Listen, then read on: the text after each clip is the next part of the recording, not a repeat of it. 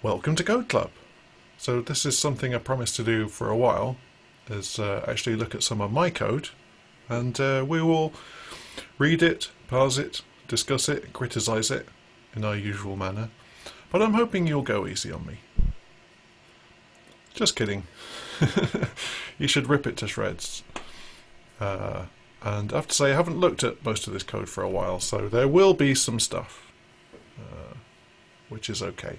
So I'll just say a word about why this library exists. Um, because as most of you know, I've sort of retired from DevOps and infrastructure work now, but I've been doing it for 25 years or so, and I've written a lot of scripts as part of that. All sorts of system automation, installing stuff, configuring stuff, deleting stuff, uh, ETL stuff, automation, monitoring, and all kinds of things.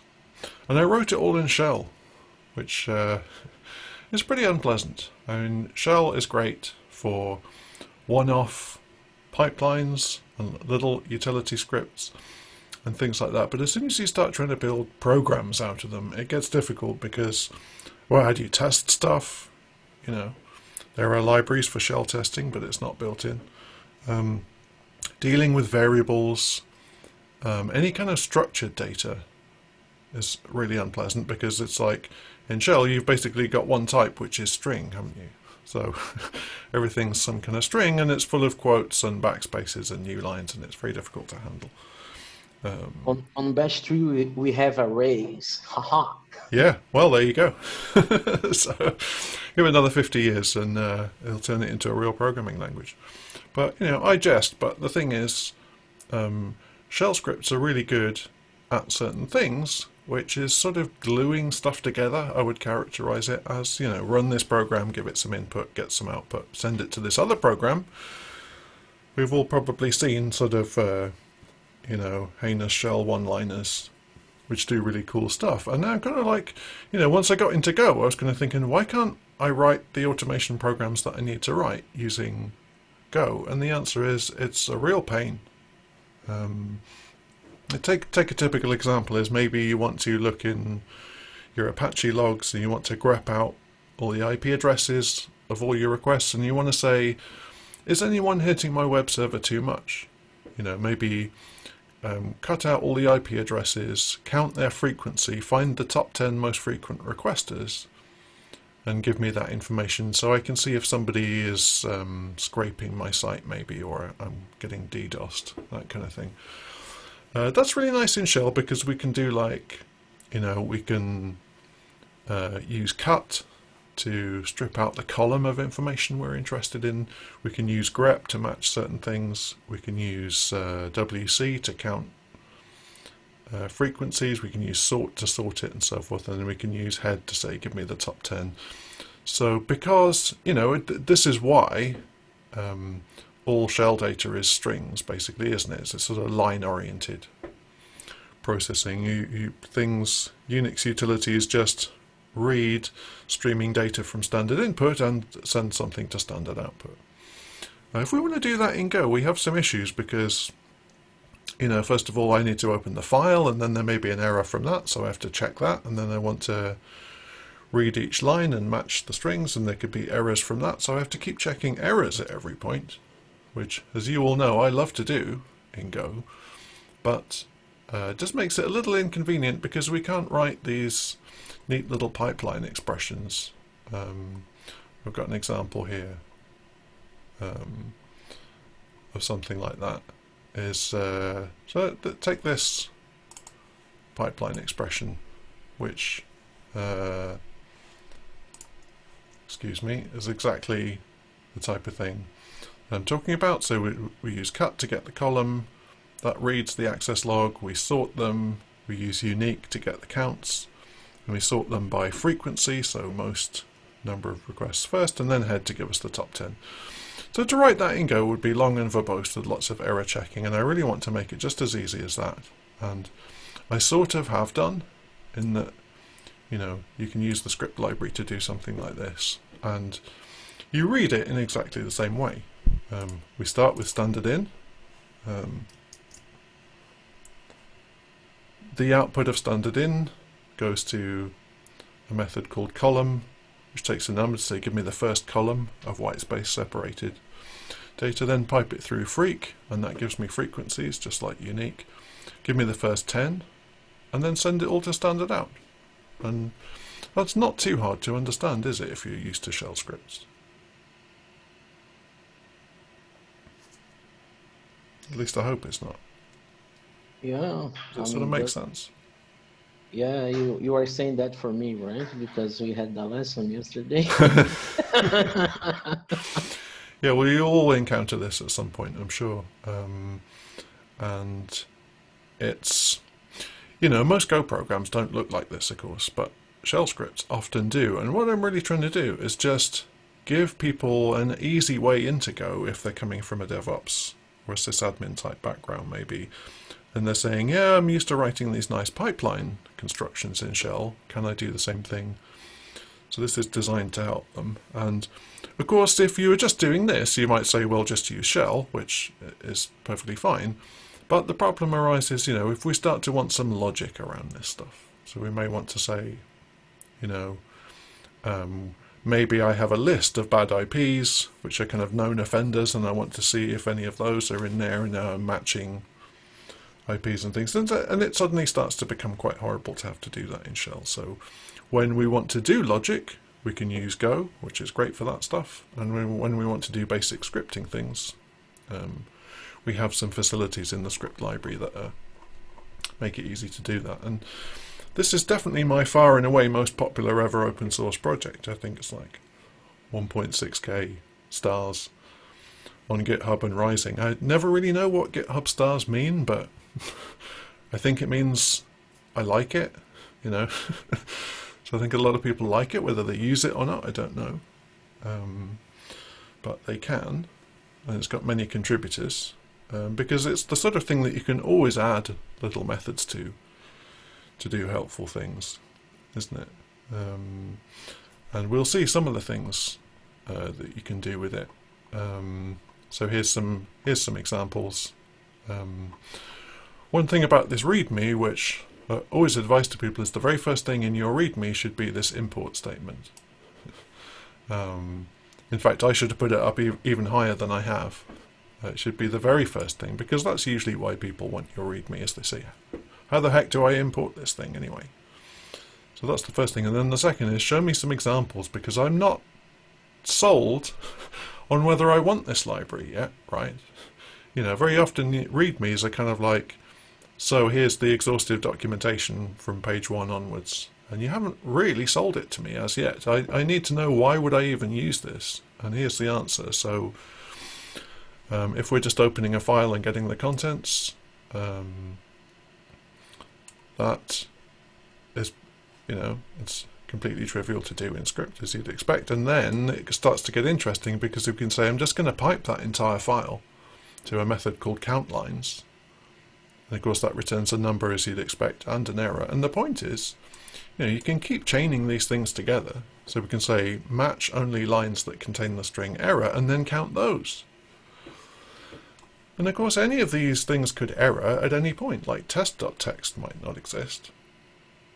Um, but you'll notice we didn't have to check it each time. So you might say, well, what if it doesn't exist? What happens when you call match? And the answer is nothing. because um, everything in script is a pipe, which is just like a normal Unix pipe. Um, what that means is, you know, line-oriented text data. Um, but it also has an error flag, if you like, and what that says is an error happened somewhere along this pipeline. One of these operations went wrong, and all of the subsequent methods now just say, okay, well then I'm just a no-op in that case. You know, when match so is called the, here, Sorry, well, so, go ahead, Tom. I was just going to ask. So, like the errors as values pattern, or the the error writer pattern, kind of. Yeah, yeah, you got me. I didn't invent that. I, I, stole stole steal from the best, as you know, and um, this is a very well known pattern in Go. Is basically saying if you have a dozen things to do, each of which can error, then just wrap wrap this with a little struct with an error value on it, and you can set that at any time if anything errors, and then everything else just says first thing I do is I check if there's been an error. If so, I just no-op. I just return nothing. Um, and that means it's completely safe to run this pipeline. It won't panic or anything. What you can do is you can check this error value at the end, and that will tell you, oh, something went wrong somewhere. And now I know my pipe is not valid. Um, but it's just a bit more convenient. Um, and of course, a lot of Unix tools just read standard input and filter it in some way and send it to output, so that's very easy. And we have a bunch of other cool things that we can do, especially writing stuff to files. Um, lots of adverts, subliminal adverts here as you scroll through my mentoring services, books, etc. Um, and that's fine. So you, can read the README online, but let's get into the code. Um, so uh, let's see, Tom. Perhaps uh, would you start us off, and would you maybe where should we start looking in amongst this code? Because we have some tests which might be interesting to look at, and we have some machinery, which is also possibly interesting, and maybe. I mean, you mentioned pipes were kind of like the everything well even on the screen right now everything is a pipe yeah so either pipes tests or pipes.go would seems like an interesting place to start great so when i was thinking about this library i was thinking you know i know i want to do pipelines so i want to be able to chain these methods uh, like this um, what does that mean so that means obviously if I, I want to call match on something, let's say. So what, what I call that method, so that's a method already. So what I call that method on, it has to be a struct of some kind, or doesn't have to be a struct, but that's the most useful thing to call it on. So how does that work exactly? I mean, I was kind of turning this over in my mind, and you, you all probably know the answer right away, but it took me a while to get there. Is I was thinking what I need is something that I can basically just read from. Like I can read it line by line or read the whole thing. And I need someone else to be able to read from me. you know, is there a mechanism in Go which I could use that says basically, I don't care what kind of value you are, as long as I can read from you? Um, and the answer is io.reader. So this gets used a lot in Go programs with good reason. And I just was thinking about it and I just went, of course, just make everything a reader. so obvious, right? Probably wonder why it took me so long to figure out. Um, so we'll see how that works. So basically everything, we have this type called script.pipe, which is that object that you call methods on. It has a zillion methods. Um, and what's inside that struct is, well, we'll see. Um, it's basically a reader. So this is real simple, right? I mean, this is the core of the whole library. It's just, it's just a struct that contains a reader and an error. We already talked about that. Now, there might be a question about this, which I'm anticipating. So the first problem that I ran into when I was doing this was saying, what about closing stuff? Maybe the same question occurred to you, right? we, we have streaming data propagating through all of this pipeline, and then at the end, we're sort of done with it. But by that time, we have no idea what we were reading from. Could have been a file, could have been a network connection, standard input, anything. What if we need to close it? Because if we don't, we're going to leak that file handle. And we don't want to do that. Or whatever it is. Or maybe it doesn't need to be closed, in which case we mustn't close it. Um, we can't. So what I thought was, Maybe what we do is instead of an IO reader, we use I invent this type called read auto closer, which is just simply something that closes itself once it's been read. Is that making any sense? Yeah, that makes sense to me. I never really know what's obvious and what's not, but the, you know, you can see the problem, can't you? That by the time I get to the end of the pipeline, I want to close the thing, but I no longer have it. I don't, I don't have that file handle um, to close or even know what kind of thing it is that might need closing. So it's relatively trivial to write something which does that because if you think about it, um, your uh, let's look at read auto closer. Uh, it needs to contain the reader, and for technical reasons, we want the read closer interface, not just reader, because we're saying we might want to call close on it. And you can only do that if you've asserted it's a read closer. So in our read method, we just simply wrap that reader, we call its read method. When it tells us end of file, we tell it to close. And that's it. Sort of pleasantly simple, isn't it? And because you're implementing read and close, you can pass it in as a read closer. Yeah, exactly.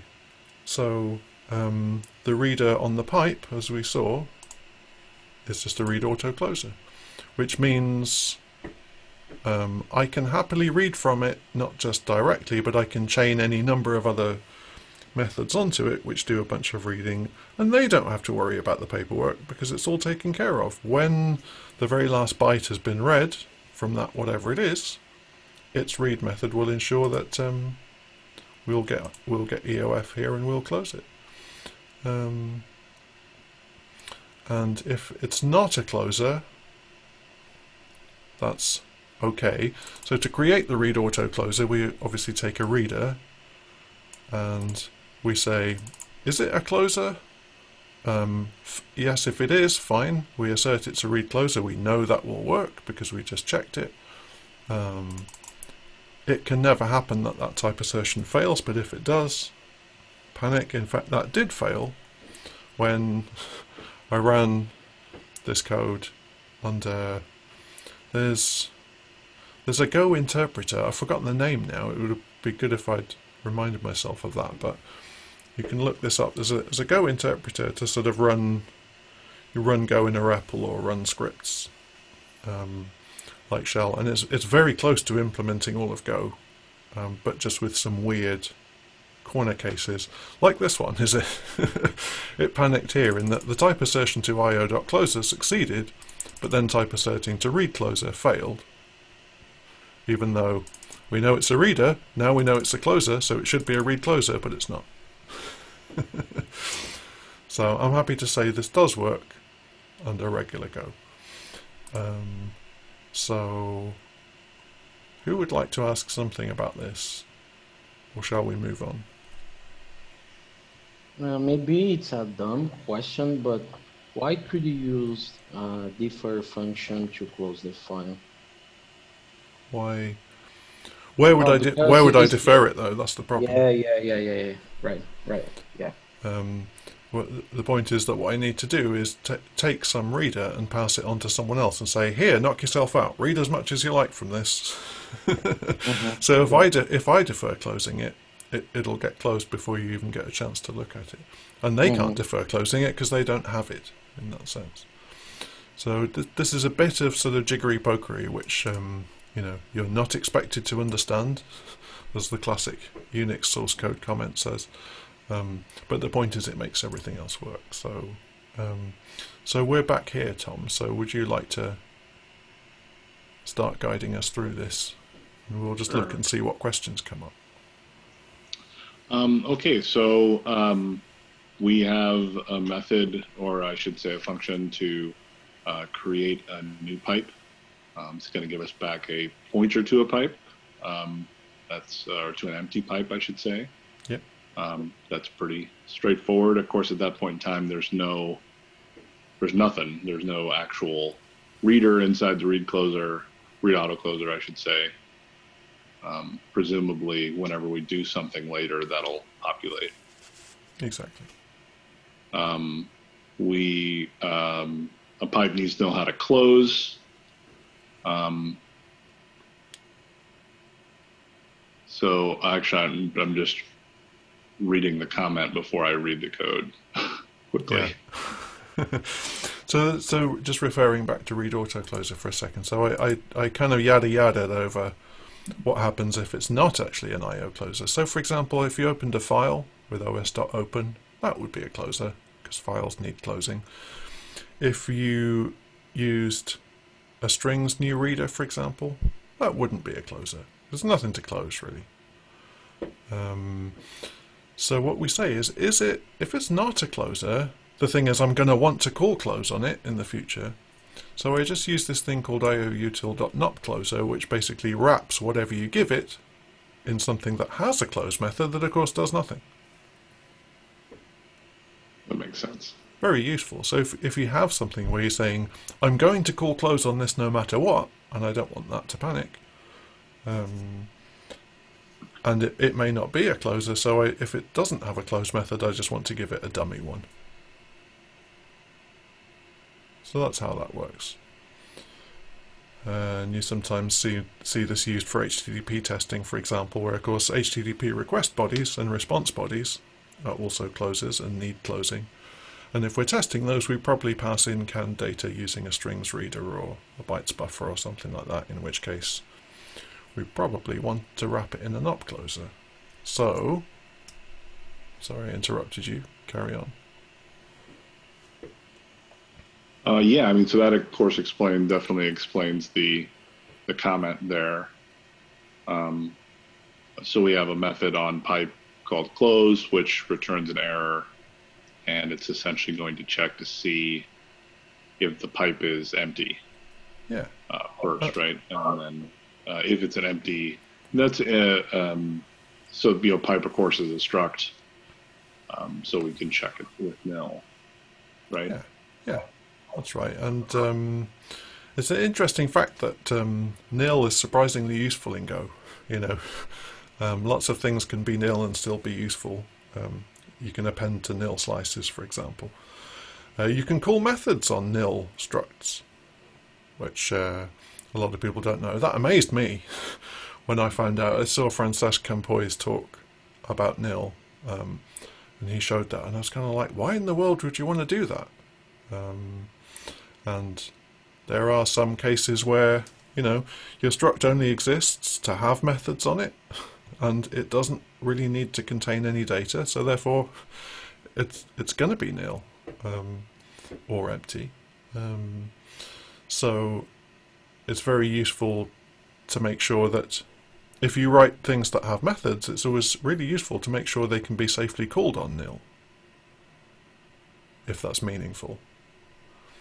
Uh, so, like example, a scenario, a scenario for an empty struct might be if you're implementing some kind of interface, um, right, to get the behavior, but you don't actually need any state. Yeah, exactly. You, you can imagine scenarios where you might say, "Oh, this could be nil," and that's absolutely fine. The only thing is, I, I refer to something like p.reader, which would just panic if this was nil. So, to avoid that, I want this library to be completely panic-proof. Um, and you know uh, so one way I do that is I exhaustively test it by calling every single method that pipes have first on nil and then on an empty pipe um, to make sure none of them error which is a useful thing to do but yeah so, so it's always useful to make sure that you're nil safe um, and if, if there's nothing you can do in the nil case, then do nothing. And if you if you thinking this code looks really dumb and basic, then I accept your compliment with gratitude, and that's exactly the type of code that I'm aiming to write. Is that it's so obvious that we don't even really need to ask about it, but we can. That's great. Um, so I think we know what close does. Yep. Um, uh, error um, is another method on pipe. It's checking for its nil state, and it's just going to return um, whatever the value of error is inside the struct. That's right. Um, and this is a slightly interesting one because one thing we can do in pipelines, of course, is run arbitrary commands. Um, I the one other reason for this library was also I was working on uh, working for clients where they're deploying stuff to Kubernetes and other container platforms. Go tools built in Scratch containers, right? So we've got nice small binaries um, with no dependencies or config files or anything. And um, one of the things there, of course, is if you're in a Scratch container, you have no Unix userland. You don't have grep, you don't have shell, you don't have echo, or any of these things. So people who are used to casually shelling out to things, you know, uh, all of a sudden they get a nasty shock because they're like, ah, that that stuff just doesn't exist. In fact, nothing exists except this binary and probably the CA certificates. Um, so uh, this is one reason I always counsel people to do that kind of logic in Go instead of shelling out. Like Tiago and I had this conversation about grepping for stuff. Um, one, because you might find yourself without a userland, and two, it makes your program more portable, of course. Um, and so one thing I was aiming to do with this library is supply some of that Unix userland stuff. You know, like, um, for example, there's a little table here which shows you if, oh, if you know Unix, here's what you do with this library. If you if you were going to use cat, you know, instead you call file or concat. If you're going to use grep, you use match or match regex. Um, head becomes first and so forth. So what I've done is basically keep the same kind of functionality but not necessarily the names because if you don't know Unix some of these names are going to be very weird to you. like what the heck is grep about? you know like we're probably familiar with that. Some of us might even know why it's called that but that makes no sense at all to somebody who's new to programming. Um, so this is why I have this table saying you know, it works like head, but it's called something different. Um, so, um, of course, um, if if what you want is not something that's built in here, and if you do have a userland to call, then you can call um, exec, just takes any arbitrary command line and runs it. And we would often like to be able to get the exit status.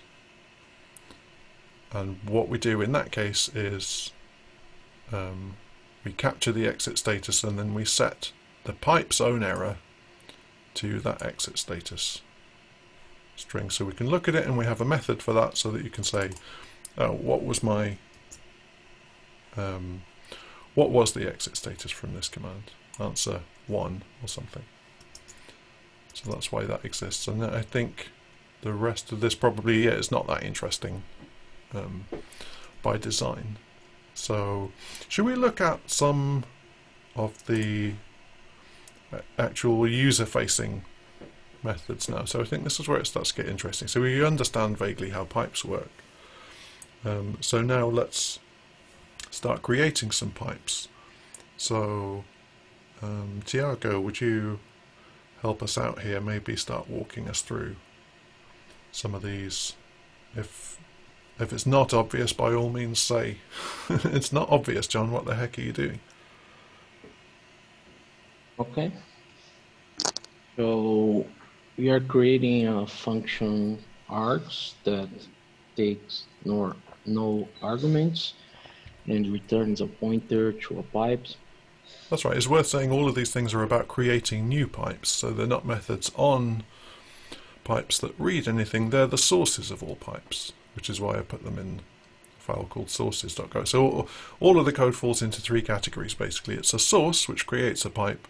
It's a filter, which filters a pipe. Or it's a sink, which is getting stuff out of the other end of the pipe. Mm -hmm. So I'm sorry, go ahead. Nope. And then you declare a new variable called s type strings builder. I don't know what the builder does. Oh, that's a neat little thing for just if you want to build up a big string by appending lots of little strings. Of course, you, you can do that in vanilla Go, but it, it's a little inefficient because strings being immutable, they, they get copied every time. So a strings builder just gives you something you can call write string on, and uh, you keep calling write string, it keeps appending, and then you can get the entire string. So it's an efficient way to build up strings from fragments, if you like. Okay, and then you are iterating over the arguments um, starting on index 1 because index 0 is the script name itself. Right. and then you write a string um, with the argument and in a new line. And then you return um, that string probably. It should be a method to read what you've you have written before That's right. Yeah, echo is one of ours which just creates a pipe from a string, so it's convenient to use that.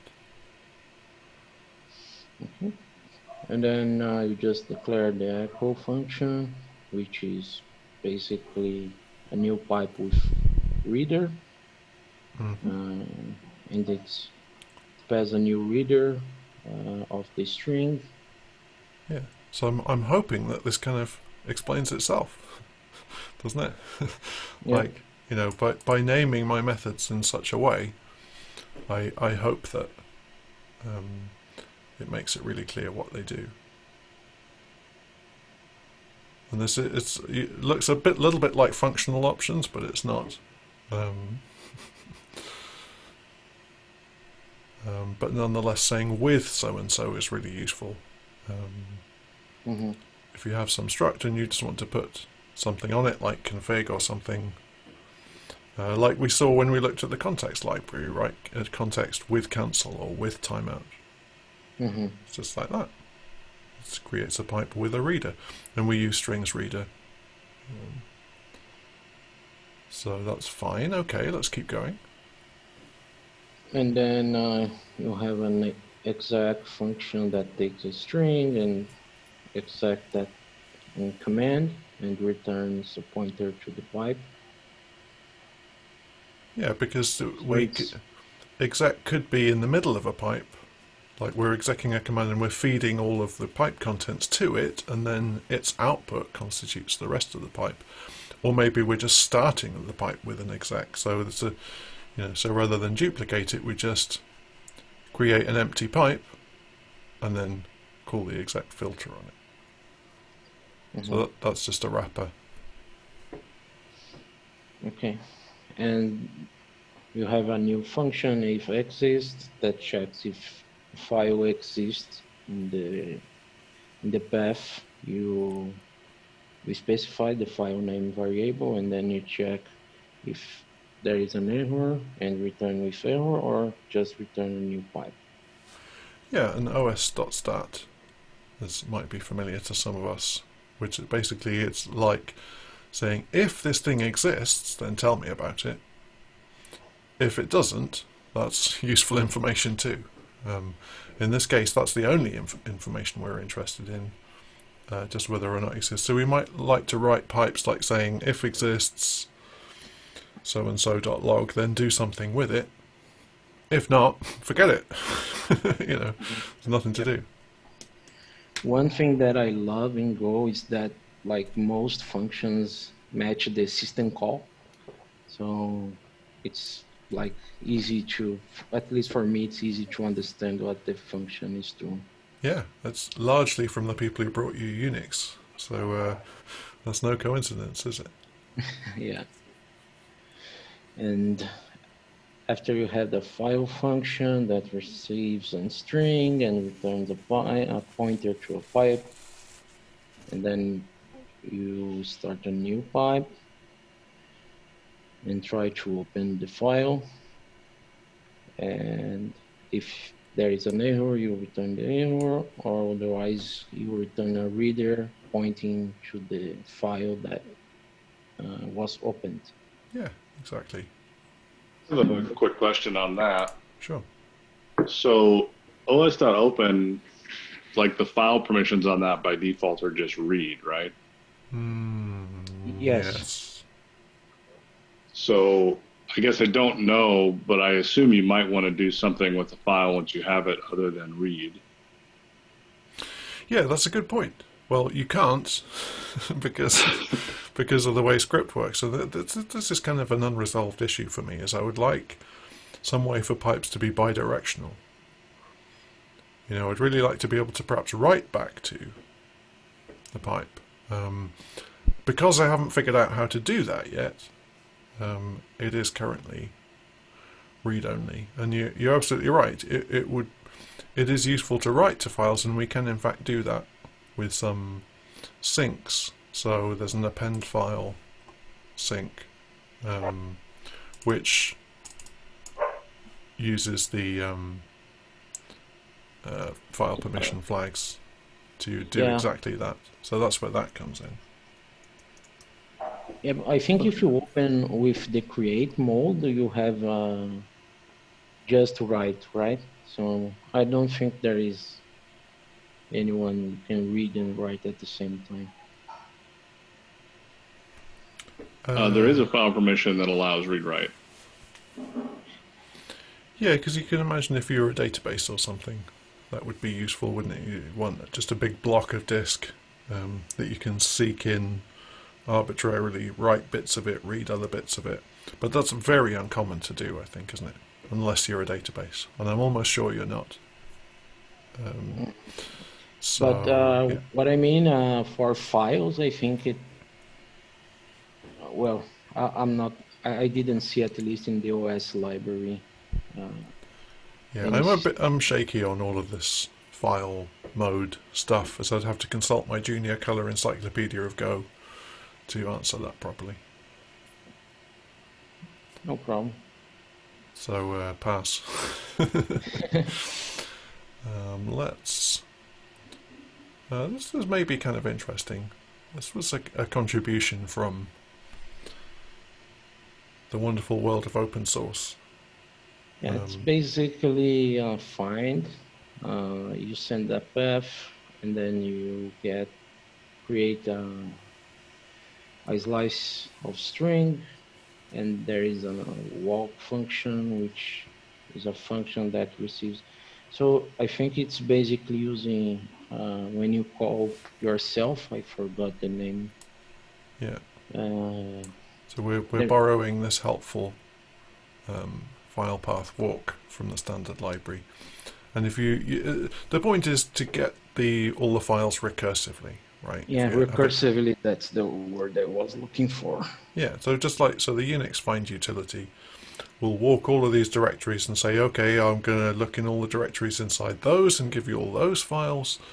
So if you write a backup tool, for example, something like that, this would be really useful. So uh, with this, as everywhere else in this library, I try and stick as closely to the standard library as possible. You know, if there's a, a standard library function that does exactly what I want, I just call it. Um, I'm not dumb enough to imagine I'm clever enough to do better than the standard library. um, or if there's something close, then I'll, I'll just, you know, wrap it. And if if it takes a certain thing like a pattern or something or a certain set of arguments, I'll try and make mine behave exactly the same way. So if you if you know shell, you know you should feel at home. If you know Go, you should not feel not at home with this stuff. So yeah, so so file path walk just says give me a path to start with, and then give me a function um, that I will call for every single file I find in this tree. Yeah, and you check if it's a directory. Yeah, that's Uh, right. So so in inside that func, which is just anonymous, um, or rather it's not anonymous, um, but it's a literal. Um, we say, yeah, is it a directory? Because we're not interested in directories. Mhm. But if it isn't a directory, append it to my big list of file names, and uh, that's what we end up returning in the end. Yeah, so this find file should be find minus f in your table because it's not returning the directory. That's right. That's a good point. You said you, we should criticize your code. That's the best I could do. Yeah, or or rather, you know, I can't legally stop you. But you're absolutely right. I mean, uh, you know, if if you don't read your own code from a couple of months ago and say, "Wow, what was I thinking? I could I could really do better," you know, then something's gone wrong because you, you should have learned some stuff. Um, Yeah, I think the second iteration it's always best. Each iteration you do better than the previous. Yeah, and w- with the contributions to this library, I mean, I, there's lots of people who are new to Go contributing to this library, which is fantastic, and that's one of the reasons for doing it. Um, and I use it as kind of, you know, people people open issues and say, I think it should work like this, and I use that as an opportunity to have a discussion with them about how we should design it. You know, say what's what's the use case that you want to do? What what code would make sense for that use case and be elegant and convenient and readable and then we'll just make that happen. You know write the code that you want to write and then just go implement whatever you need to make that code compile and work. And that's helpful. And then when they put in their pr of course i'll review it and say you know you could do this you could do that. Did you know you can do this? Um, my code review style is definitely changing these- from hey you got this wrong to saying Yeah. did you know you can do X, Mhm. Y, Z, which I think is much nicer. yeah, um, or something like this continue is doing nothing, right? Yeah, exactly. Um, and it's, it's the type of thing that you know you see yourself when you look at it through somebody else's eyes, which is why the review is so helpful. But with uh, you know with my own code, I have no problem whatsoever with just relentlessly refactoring and refactoring, and uh, you know my students know this. um, and but with other people's contributions, there comes a point where you know they've re- they've resubmitted the PR like 16 times, and I, I, sort of I'm not quite, you know, I haven't really got the nerve to ask them to change it again. So Mhm. um, sometimes there may be things which is just if I was writing it, I might have done it a different way, but I don't want to just completely crush the individuality out of someone's PR. I, want, I want them to feel it's their code, not mine. Yeah, and sometimes it's something is opinionated, right? It's not um, be- best practice or there. What I mean is some there are small things that's acceptable uh, because it's not breaking any rule or principle, Yeah. right? It's more opinion opinionated. That's exactly right, and it's precisely the opinionated stuff that really matters because that's where your intelligence and your judgment and your creativity and design thinking comes in. All of the stuff which is not controversial is just not interesting because it's a solved problem, right? When people talk about best practice, this is what they mean. It's just stuff we don't have to think about anymore because no one seriously disputes that way of doing it. Um, and all the other stuff is where it's really interesting for me. So um, that was very good. Thank you, Tiago. Would someone else like to volunteer for the next bit?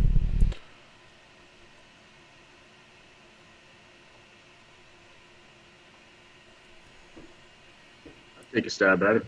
Great. I'd like to go around the room a little bit. Sure. Looks like we have a list files function being created that takes a path and returns a uh, pointer to pipe and checks to see we have a conditional here that or not a conditional uh, Yeah, no, this is like if you if you do something like cat star in the shell, right? Yeah. You know, you can say some uh, some expression probably involving a star or other wildcard that expands to a whole bunch of files, and we would like the same functionality. And in fact, it's in the standard library, so of course we just use that. right Um, but yeah, please continue. And then uh, we're set of variable file names uh, in error. Check the file path glob if I'm correct. For my Python days, is we just munch that path together. Uh, that's right. So we're saying if it contains any of these magic characters, which indicate globbing, like star, um, then clearly we're dealing with a glob. If not, it's just a list of files or just one file. But the, you know, the globbing is the bit we need to look at here to say, oh, there's some glob characters. We need to glob stuff. Right. Then we're checking that error and return um, the new pipe with an error or just return the slice of uh, file names that have been collected.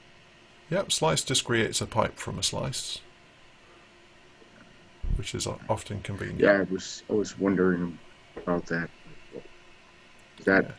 that standard or No, you create that? no, that's a script thing, and is again, it's sort of just making it a little bit easier for people who might be new to Go. Just saying, oh, I, I, I have a slice and everything's a pipe. Okay, how do I turn a slice into a pipe? Okay, this is how. Gotcha. That's pretty cool. It's easy to understand. Walk through. Um, then we take uh, files in an error, and we do an ioutil and read the directory and pad, pass that path into that directory.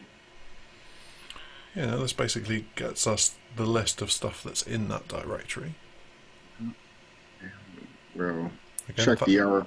Thank you, Standard Library. You've saved me actually writing code. One of these days, I'm going to need to do something that isn't in the Standard Library, and then I'll have a problem. All right. We checking the error. Uh, excuse me. Yeah, we're checking the error and we're passing, uh, creating a variable s and error and passing that path to that stat to see if it's a match or if it's there. Yeah, so this might need a footnote, which is that saying if um, read dir.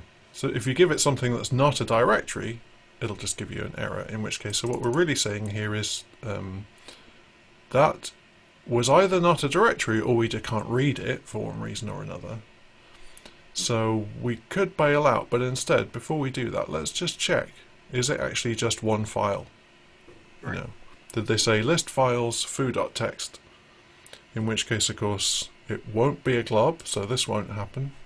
It's not a directory, so that won't work. But it might be a file, so we can call our friend os.stat. Um, and we can say, nope, even that errored, so bail. And if that worked, then we have the stat, so we can say, is it a directory? Um, Right. and if it's not, then of course what we're trying to do is get the list of all files that match that path, and in, in this case that is precisely that one file. so that's easy. Yes. So yeah, very good. So just the last bit here. Yep, continues uh, returns either that that path that's echoed out or the uh, the error from that not finding a directory or, or anything. We have a file names variable where we're making a string in, from the length of the files, and we range over Yeah, those what, files. what was files? It's a slice of os.file info. So what I want is a slice of strings, but instead I have a slice of os.file infos. So I need to range over them. Uh, I know exactly how many strings there will be, so I can pre-size my slice to the right size, avoids copying. And then I just boringly and verbosely write them all into my slice. Yeah, pretty straightforward. And I use filepath.join because not every operating system uses forward slashes to separate um, Sure. file paths, right? Although all the ones that anybody really cares about do use forward slashes. But um, it's good practice to pretend we might want stuff to run on Windows. Um, so that's why we call that. That's great. So I want to get into a little bit of the filtering stuff. Uh, Um, we- just one one question before we move Sure. forward. Um, could you just check if it's a file um, before run the IOU to read dir? to avoid- um, The error checking you're doing before? Yeah, could I check if it's a file? I would have to call OS stat on it, wouldn't I? Or the function uh, exists you already have if file exists. Oh yes, I see what you mean. Um, yeah, the problem with that is that creates a pipe, Oh, okay. um, Gotcha. so it's a bit inconvenient. Yeah. Okay. Uh, yeah, so we're getting, getting a little bit low on time, so I just want to touch on some of the filtering stuff, um, which so, wait, look at these imports. uh, that's really cool. I've never knowingly imported container slash ring. Um, this is another contribution. So perhaps um, this is a bit more interesting because it's a bit more pipe centric. Like instead of just creating pipes, we're reading from pipes and writing to pipes. Um, who hasn't had a go yet? Jumana, I'd love to call on you, but at the same time, I don't want to put you too much on the spot if you don't feel like talking. So Um, I could try, but this is pretty advanced for me. So if someone else wants to go, that's fine. Yeah, that actually the nice thing is you can just say what's there, and if it's not obvious to you what it does, you can just say, "Who can tell me what this does?" Okay. um, so Do we know what, what the Unix base name command does? Because that's quite helpful. Um, it's saying if you have some long path name with lots of directories and slashes in, actually I'm just interested in the file name, i.e. the very last bit, so I just want you to chop off all of the leading slashes and paths. So if it's slash users john go foo.txt, I just want foo.txt. So that's what we're So- replicating here, is we're just trying to trim off all of those slashes. Okay. So so that's what ba- base name does. That's right. So we're Okay. going to be reading stuff. So we're on a pipe. So we're going to be reading from that pipe's reader. And each line is some path that we want to strip the leading bits off. And then we will write to our output just those file names. And all, um, all these filter methods work a very similar type of way, which is the first thing it does, I should explain, is if, if the pipe is nil, just um, short circuit and no op, as we talked about earlier. And similarly, if the error flag has been set on the pipe, that means there was an error somewhere upstream, so there's nothing for us to do. So we just return ourselves, if you like. Um, this this makes it a no op. So you could chain a dozen of these together, and they all just return p. So at the end, you just have p that you started with. So this is the bit that does something. See what you can make of it. Um, so it, looks like it, it returns uh, each line, but uh, Yeah, I'm not e- sure what Builder does or Right.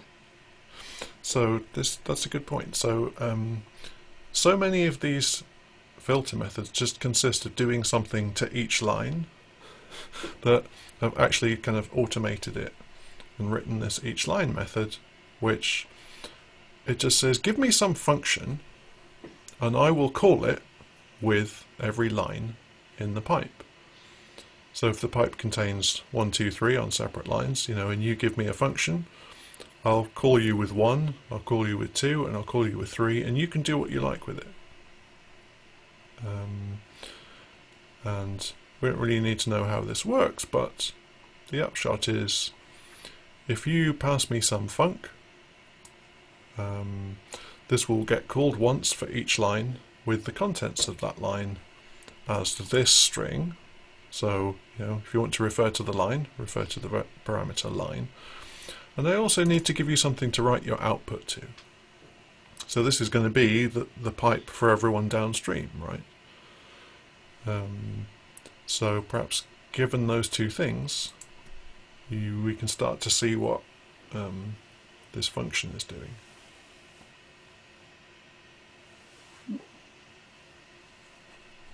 What do we do? Um, What do the- do here? Here's our Yeah. friend the file path library again. It, it has a base function which does exactly what we want. So again, I'm not really doing anything, just wrapping the standard library and getting GitHub stars as a result. It's a great life. and here's the line that we give it. So file path base will do the stripping off of uh, everything, and it gives us back just the file name. So then what do we do with it?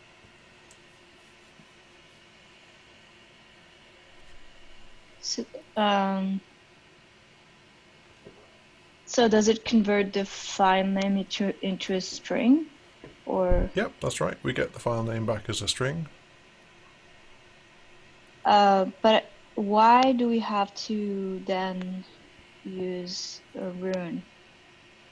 Ah, that's very interesting. So um, we have so to make it concrete, let's say it's slash etsy slash foo.txt and uh, we've called filepath.base and it's given us back just foo.txt and we're going to write it to our output strings builder um, which as we saw is just a thing you can keep writing strings to and then it will give you it all as one string. But we need line breaks too because this is a line oriented library. So we're reading a path name from each line separated by line breaks and then in our output of course we need to add our own line break on because we we didn't get it so when we get past the line it doesn't have a line break on the end Oh, got it. So it, it just helps format it and add a adds a break to it. Okay. yeah exactly and you, you could call write string and give it the string that just consists of the new line rune but it actually has write rune if you only want to write a single character so that's what that does So what we're really saying here is, um, you know, each of these methods, like base name, just calls each line to say do whatever it is once for each line, and then inside the little func that we pass, we just do whatever it is we need to do, like file filepath.base. Um, that was very good, thank you. Would you like to tackle the next one? Uh, sure. I could try. This is the cut Um, command, so this is about saying we have some white space delimited stuff, and I'm interested in, let's say, field number one or column number one. Like, uh, if you think of U- Unix PS command or something, for example, we get the process ID and the information about the memory and the command that created the process and all of these things. So we might be wanting to grab one of those columns.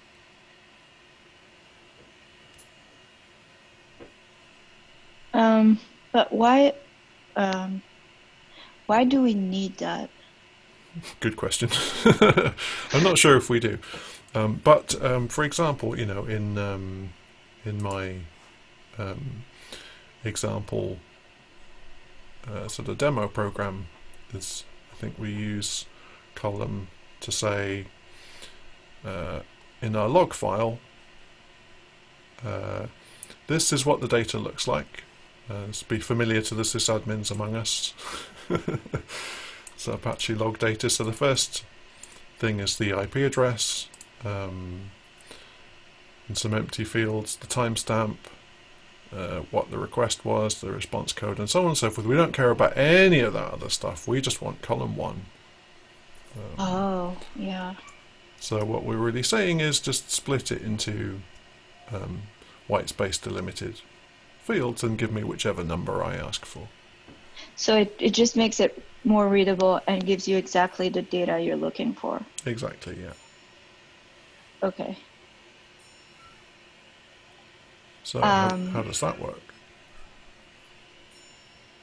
Um, so it goes through, it looks like it goes through each line and then, uh, Yeah, same thing again, isn't it? We're calling Yeah. our each line thing and we're giving it this func. So now this is the bit we're interested in. yes. So, fields. Have you come across strings fields before? Uh, no. So no. gu- guess what? It does exactly what we need. Standard library wins again. If you give it a string, it splits it on white space and gives you Okay. back all, all the non-white space strings as a slice. Oh, okay. So, um, basically, it, it creates the various. It, it just. Uh, but does it format it into columns? Is that how it works? Yeah, so if we gave it that log line that we were just looking at, um, strings fields would return us one string which is the IP address, another string which is a dash, another dash, the, the request, and timestamp and so forth. Um, so we now have a slice of columns, if you like. Okay. That's um, and then What um, that says, John, is pretty much that slice is now, now being, not that it's setting up columns, but it, it's putting it in a slice, so now you can use the indexes for getting the data out of it.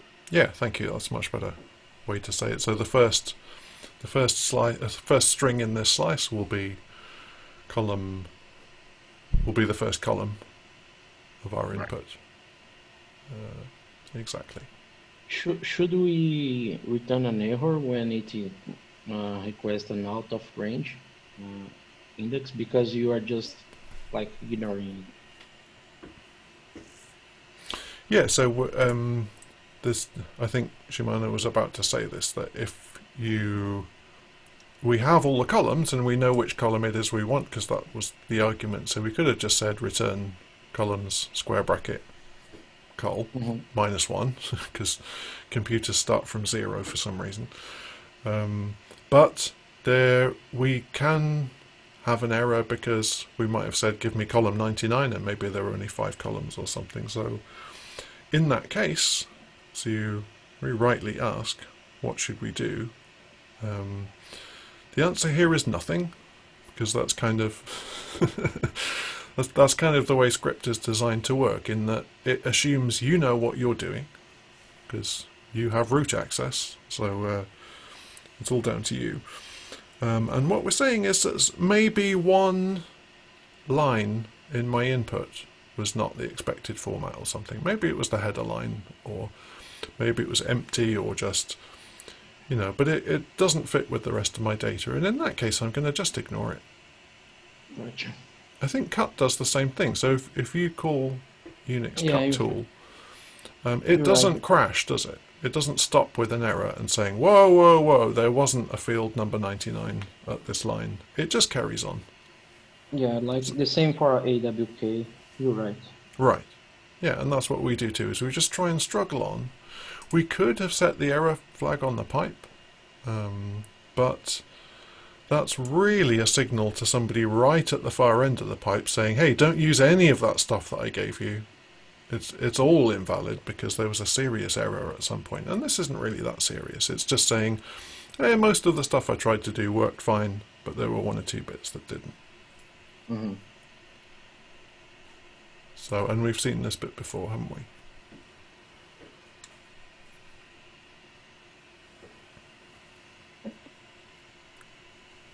Um, so it just uh, re- returns um, strings Yeah, and exactly. then um, yeah and and then any any space becomes a uh, so, and um it it also uh, go uh, how would that work though um,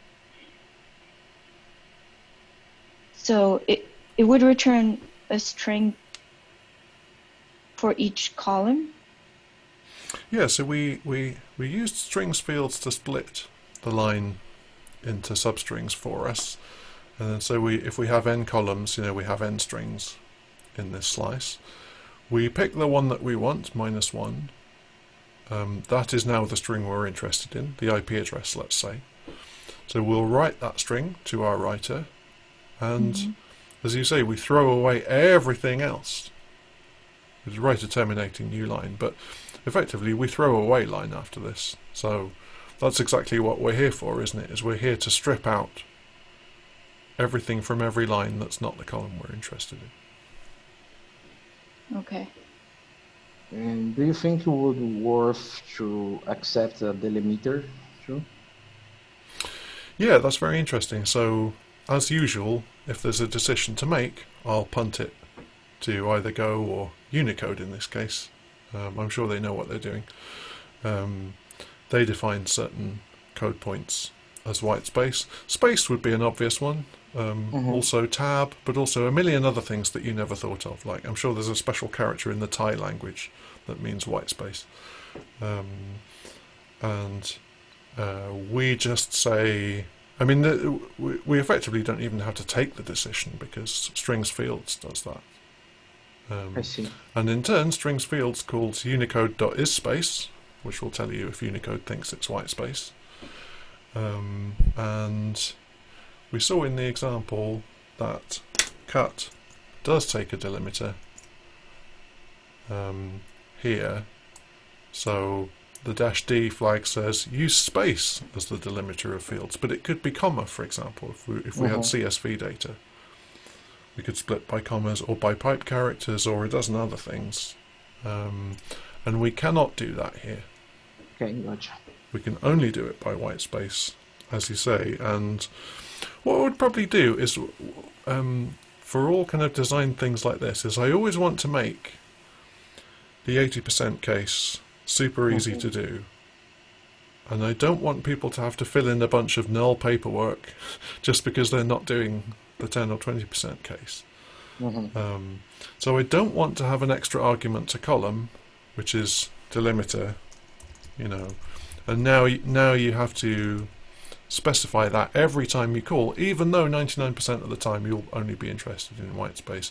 What I do instead is I might add a method called something like column by, or you know column delimited by, or something like that. We'll bike shed the name, but that's the idea: is we use a different method. Hmm So you can still do what you want to do, but if you just want the easy case, then you have no paperwork to do. It's just like Mhm. HTTP is always my canonical example of this. Is if you want a plain old HTTP client with no special customizations, you don't even need a client. You just called HTTP.get, and Yeah. you'll be using the default client. But if you want to customize things, and you absolutely should, timeouts would be a good example. Uh, then you then you can call something else, HTTP new client, and you can start Mhm. customizing it, and then you can call get on that. So same kind of idea. Make the easy stuff easy, and the complicated stuff possible. Makes sense. But yeah, that's a great idea. So please feel free to open an issue on my GitHub repo. You'll find it on Bitfield's GitHub, and um, if you feel like contributing a PR for it, that would be even better. Sure thing. So yeah, I think we better wrap up there, haven't we? Which is a shame because I've enjoyed this, but um, we're somewhat over time. So thanks very good. much, everybody. I'm going to use this code. Excellent. Well, please, Yeah. please pay me five dollars every time you import this library. And uh, if GitHub stars are anything to go by, I'd be a rich man. but uh, I'm I'm here to tell you that I'm not. So uh, something's gone wrong there. You should put a web call for your site and count how many times each person the. I would love to put some evil telemetry in there that reports to me every time someone runs code using my library. But I kind of feel like, you know, if I made it opt in, no one would opt in. And if I made it opt out, then I'd be arrested by the FBI. Okay, So- guys. Thank you very much. Excellent. Yeah, thanks everybody. See you again next time. Bye.